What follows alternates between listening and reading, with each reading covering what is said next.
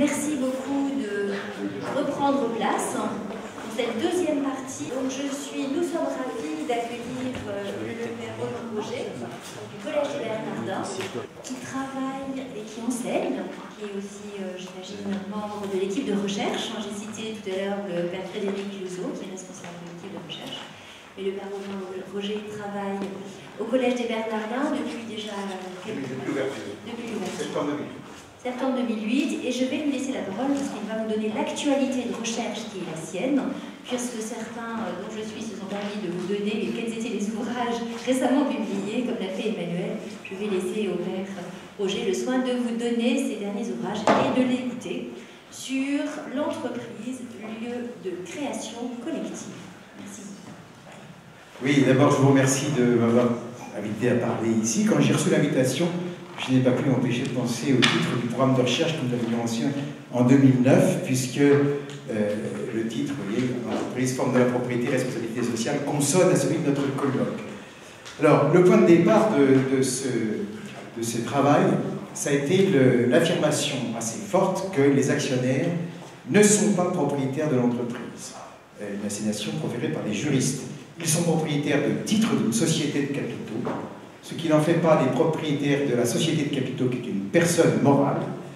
Et par ailleurs, il faut distinguer la société de capitaux de l'entreprise à qui elle sert de support juridique. Et donc, euh, et enfin, l'entreprise n'est pas un objet de droit, elle n'est pas définie par le droit et donc ne peut pas être un objet de propriété. Le colloque de Cerisy en 2013, auquel a participé certains d'entre vous, nous ont montré que, nous ont confirmé que l'entreprise était très mal théorisée, non seulement en droit, mais aussi en économie en sciences humaines plus généralement. Et l'effet de ce vide théorique, ça a été de, de faire d'entreprise un point aveugle du savoir, du savoir qui a laissé en quelque sorte le champ libre à la généralisation de représentations réductrices de l'entreprise, en particulier des représentations gestionnaires et financières, qui sont largement euh, inspirées ou appuyées sur des théories économiques. Sans rentrer trop dans le détail, les économistes euh, classiques euh, soulignaient, avec Smith, la capacité de l'entreprise à faire des économies de coûts de production directs et indirects. Ronald Coase a souligné la capacité de l'entreprise à économiser des coûts de transaction. Jensen et Meckling ont insisté sur les systèmes d'incitation permettant de faire des économies de coûts d'opportunisme. L'entreprise, vue des économistes, est surtout axée vers la réalisation d'économies. Et lorsque ces, euh, théories sont intériorisées par les dirigeants, elles risquent de- de- d'occulter euh, la capacité qui apparaît à nos yeux centrale de l'entreprise, qui est la capacité de création, et en particulier la capacité de création collective. Pour le dire simplement, euh, c'est certainement nécessaire de faire des économies, mais l'innovation en termes de produits, en termes de process, permet de créer, de construire des facteurs structurels de performance, comme par exemple un positionnement, stratégique, un produit aux caractéristiques inégalées ou des structures, de- des organisations de la production et de la vente qui permettent un avantage compétitif durable. Pour l'illustrer d'un mot, bien sûr qu'il faut fermer Aulnay quand on est Peugeot, mais ce qui est plus important et beaucoup plus difficile, c'est d'inventer la voiture de l'année. Mon propos, pour articuler le propos autour de la création collective, j'aurais trois temps. D'abord, euh, euh, l'histoire de l'émergence de cette entreprise qui permettra de caractériser l'entreprise dans un- une première caractérisation d'entreprise en mettant en évidence ce collectif créateur. Ensuite, dans un deuxième temps plus anthropologique, j'essaierai de justifier anthropologiquement les capacités de création liées au collectif. Et enfin, dans un troisième temps, je parlerai des conditions d'expression de ces potentiels. Alors, si on regarde rapidement l'histoire, je vais enjamber.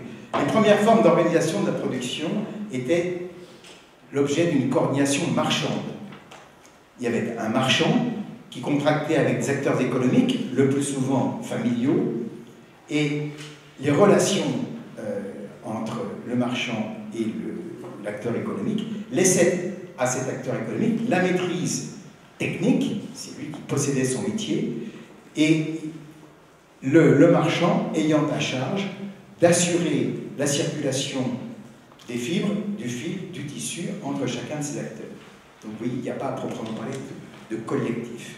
Dans un second temps, on a assisté à la concentration géographique des acteurs qui se sont groupés tantôt autour d'une source d'énergie, tantôt autour d'une machine plus importante ou plus chère, mais à l'intérieur de ces organisations, la coordination restait une coordination marchande des acteurs de métier qui maîtrisaient chacun leurs compétences et leurs techniques, contractualisaient pour un prix fixé à, euh, à délivrer un output donné.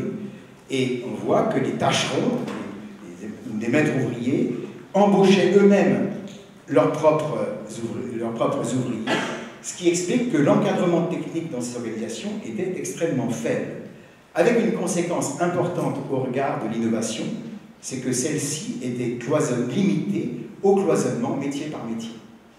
Alors, je fais simple, mais globalement, cette organisation a évolué. Il y en a deux marqueurs qui sont importants. D'abord, l'apparition à la fin du 19e du nombre des contremaîtres qui viennent organiser la production au-dessus des maîtres ouvriers, et euh, donc, dont on voit le nombre croître à la fin du 19e. Le deuxième changement d'entreprise euh, qu'on observe, c'est euh, l'augmentation du nombre d'ingénieurs et la, fonctionnalité d'invention de l'entreprise, qui au début était le fait de l'entrepreneur inventeur, des gens comme Watt et Bolton. Et puis, assez rapidement, l'invention est devenue une activité propre à l'entreprise et avec des bureaux d'études regroupant plusieurs centaines d'ingénieurs. Donc, global, alors ces deux évolutions ont été équipées ou exprimées ou se sont traduites par une évolution structurelle fondamentale, à savoir le passage d'une relation commerciale, relation de contrat de louage d'ouvrage, on délivrait un produit à un contrat de louage de service, c'est-à-dire une relation d'emploi. En conséquence, vous voyez que ce changement d'organisation constitue réellement un collectif qui est organisé autour d'une direction appuyée sur la fonction de subordination et qui permet d'organiser le travail collectif, de le contrôler et de le définir. Ce qui caractérise l'entreprise qui émerge à la fin du 19e, c'est cette forme de coordination non marchande. L'entreprise échappe au marché. Alors bien sûr, cette organisation permet d'économiser les coûts de transaction, il n'y a plus le marchand avec chacun de ses acteurs économiques, mais ce qui est plus important, c'est sa capacité de, capacité de création collective. C'est ce que nous allons voir maintenant, en considérant bien sûr le travail. Alors le travail, il tente à échapper très largement à l'appréhension gestionnaire. Sa réalité est comme masquée par les chiffres, au point que, comme dit Pierre Gomez, il devient invisible. Et cette représentation abstraite du travail est largement nourrie par la théorie économique qui la considère comme une désutilité, donc, donc n'y voit qu'un coût. En conséquence, ces théories inclinent à penser le travail comme une ressource impersonnelle, substituable, dont l'objectif principal, c'est de réduire le coût. Mais en fait, le travail, tout au contraire, nous apparaît non seulement être une ressource, mais la ressource qui est à la base de la performance de l'entreprise. C'est ce que je vous montrerai rapidement par une approche anthropologique, que le travail est créateur de compétences et que ces compétences sont démultipliées par le collectif. Si l'on considère rapidement nos capacités de euh, perception et d'action, elles se développent, elles ne sont pas données à naissance, elles se développent par l'expérience. On est en permanence traversé par des flux de stimuli qui traversent l'ensemble corps-esprit, qu'il faut voir davantage comme un continuum que comme une dualité. Dans ce flux de stimuli, l'agent opère une sélection, et lorsque ces stimulations sont récurrentes, il y a une forme de mémorisation, dans un premier temps non consciente.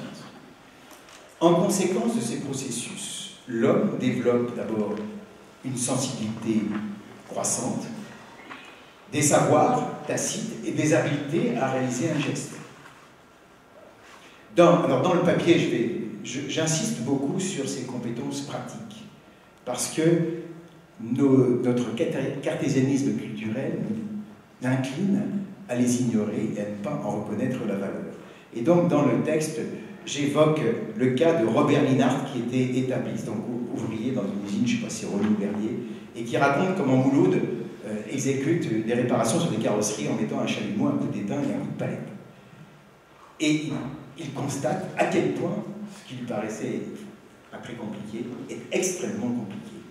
De même, dans l'usine Pallard, Daudier, dans son livre Des hommes et des machines, parle des opérateurs qui savent, ils savent que la machine tourne bien au bruit, ils sentent sur les flux les, les inégalités, tous, ces savoirs pratiques. Et puis enfin, je citais Francis Gainsberger, qui dans un, ouvrier, un atelier de textile, parlait d'ouvrières dont l'activité principale c'était de faire de la production de masse, et qui elle-même disait qu'elles n'avaient aucune compétence. Et ces compétences pratiques, elles les ignoraient, mais aussi bien sûr leur hiérarchie les ignorait. Or, ce que constate le chercheur, c'est qu'en période de collection, au moment où les processus sont bouleversés, tout d'un coup, il se rend compte que les ouvrières sont capables d'ajuster les patrons, de changer les process, d'inventer plein de trucs, en. Donc, euh, importance de ces savoirs pratiques qui sont directement issus de l'expérience. Ces savoirs, ils se développent d'abord de, de Tacite, ils deviennent conscients, ils donnent lieu à une nomination, d'où le vocabulaire fleuri propre à chaque métier. À partir de cette nomination, éventuellement, on théorise des liens de cause à effet, et ultimement, on modélise scientifiquement euh, les phénomènes euh, en conséquence. Ce que, ce que l'on peut souligner, c'est que ces connaissances sont toujours enracinées dans l'expérience, y compris les connaissances théoriques et scientifiques. Le problème, c'est que cet enracinement corporel de l'apprentissage en limite l'extension, puisqu'il faut du temps. Heureusement, pourrait-on dire, cette limite peut être dépassée par la transmission, par les relations. Les savoir-faire pratiques, dans toute leur extension, peuvent être transmis par apprentissage. Et dans le livre de Robert Pinart, il explique comment Mouloud lui montre, attire son attention pour qu'il lui-même fasse l'expérience. Quant au savoir théorique, scientifique ou plus conceptuel, leur diffusion est beaucoup plus facile puisqu'elles elles peuvent faire l'objet d'enseignements ou de publications. Et donc, au sein d'entreprises, le, le, problème se centre autour de ces savoirs pratiques qui sont le plus souvent propres à l'activité, d'où l'importance capitale de l'apprentissage. Alors, cet apprentissage, bien sûr, il est déjà d'abord apprentissage mutuel des gestes comme Mouloud et Robert Linhart mais de manière plus profonde encore, et en particulier au regard de l'innovation, dont j'ai souligné l'importance, euh, le collectif est aussi créateur.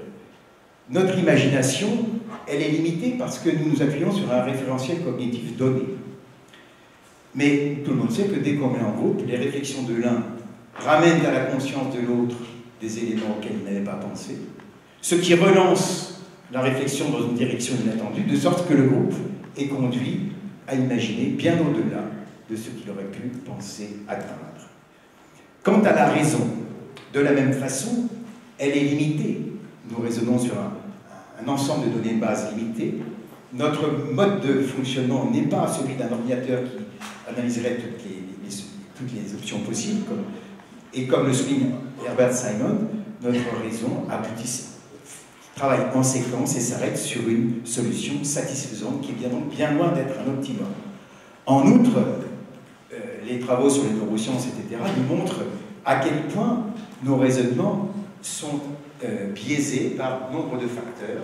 En particulier, ils sont sujets à être affectés par les émotions, mais aussi, dans bien des cas, nous recourons de manière indue à des résultats de raisonnement antérieur dont nous faisons l'économie, et donc nos déductions sont entachées de biais. Là encore, le débat contradictoire permet de débusquer ces biais et d'aboutir à des conclusions qui sont à la fois plus sûres et plus rigoureuses. De même, pour la perception, notre perception est toujours située. J'ai évoqué les sélections que nous faisons dans nos stimuli, il y a d'autres facteurs plus culturels, tout l'appareil cognitif qu'on mobilise pour percevoir, et puis bien sûr dans nos capacités personnelles. Là encore, la conjugaison des perceptions des membres d'un groupe permet d'atteindre une perception plus complète et plus juste.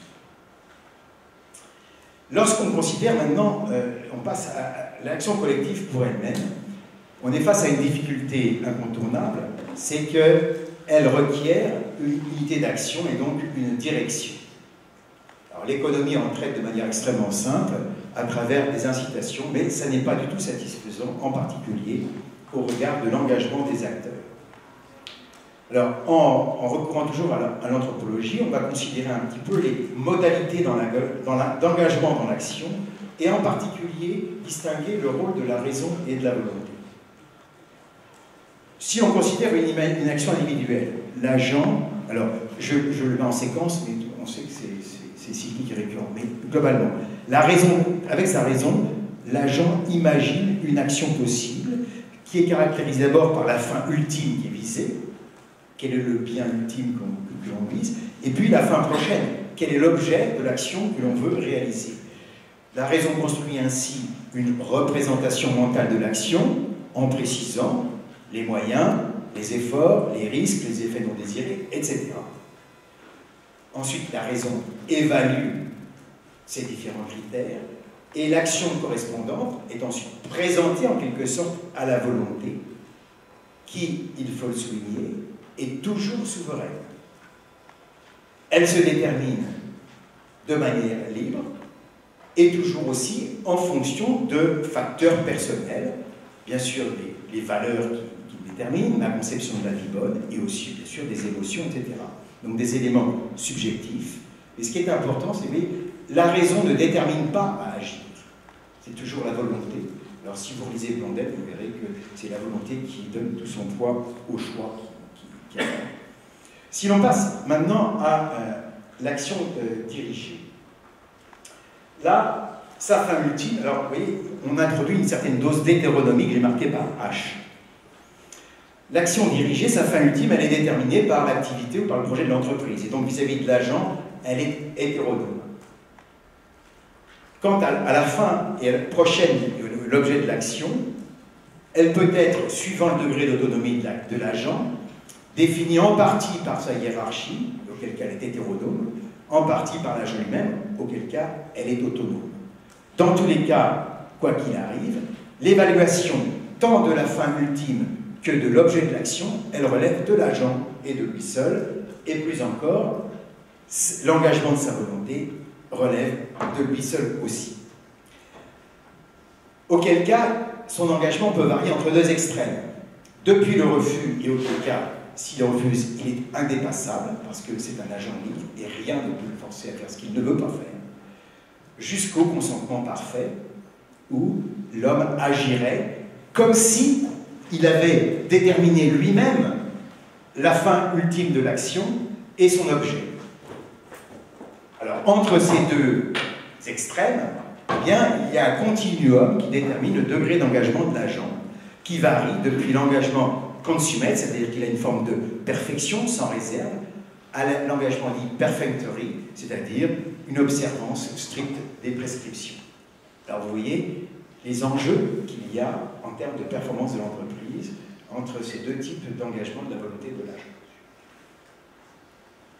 Un petit mot sur les.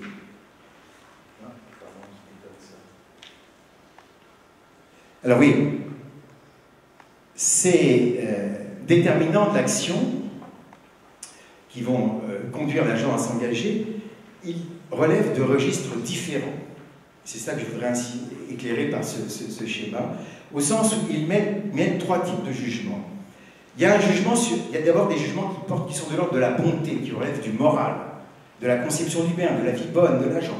Alors vous voyez que c'est par, exemple euh, la bonté, la mission d'entreprise, ça relève de la bonté. L'utilité de, cette mission, ça relève de la bonté. L'intérêt du travail pour celui qui le fait, ça relève de la bonté. Deuxième type de jugement, des jugements sur la pertinence de l'action proposée. C'est-à-dire, est-ce que l'agent peut croire ou accepter que l'action permet d'atteindre effectivement, d'une manière satisfaisante, la fin et la qualité voulue. Troisième type de jugement. Alors, ce, jugement de pertinence, il comporte bien sûr des éléments subjectifs. L'agent a une idée sur le beau travail, sur la, qualité du travail, mais il comporte aussi des éléments objectifs au sens où il peut être validé a priori. Est-ce que la stratégie a permis d'atteindre le niveau de vente des trucs? Est-ce que la technologie choisie a permis d'atteindre les, performances souhaitées, etc. Enfin, euh, troisième type de jugement, un jugement qui conditionne lui aussi l'engagement de l'agent, un jugement sur la justice, et en particulier sur la répartition des efforts et des rémunérations, où là, on est pleinement dans le subjectif, même si, et là, il n'y a pas de validation possible, contrairement à un jugement de pertinence. Alors,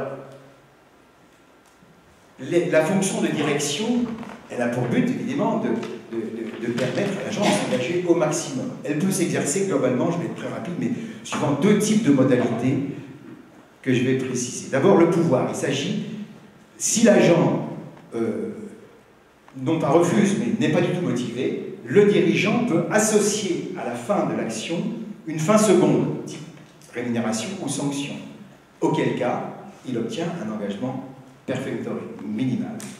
L'autorité, au contraire, elle vise à construire une adhésion partielle de l'agent à l'action proposée. Et donc il faut qu'il consente, qu'il reconnaisse une certaine qualité de justice, de bonté et de pertinence à l'action. Alors, ce que je voudrais euh, souligner par là, c'est qu'il est rationnel pour un agent qui reconnaît les limitations de sa raison et de son jugement d'accepter de, faire une action qu'il n'a pas lui-même construite, qui lui est proposée ou prescrite. Pour autant qu'il reconnaisse que celui qui a prescrit agit en fonction d'un bien commun dont l'agent est parti.